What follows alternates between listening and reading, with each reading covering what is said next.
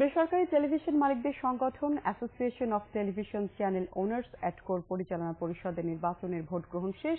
এখন চলছে ভোট গণনা। সকালে রাজধানীর গুলশানের একটি হোটেলে অ্যাটকোর সভাপতি অঞ্জন চৌধুরীর সভাপতিত্বে বার্ষিক সাধারণ সভা অনুষ্ঠিত হয়। সাধারণ সভা শেষে শুরু হয় সংগঠনটির পরিচালক পরিষদের নির্বাচন।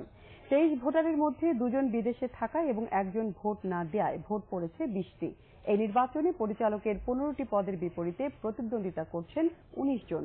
বিজয়ীরা আগামী তিন বছরের জন্য দায়িত্ব পালন করবেন। বাংলাভিশনের চেয়ারম্যান আব্দুল হক পরিচালক পদে নির্বাচন করছেন। নির্বাচিত পরিচালনা পরিষদ পরবর্তীতে এটকোর সভাপতি, সিনিয়র সহসভাপতি এবং সহসভাপতি নির্বাচন করবেন।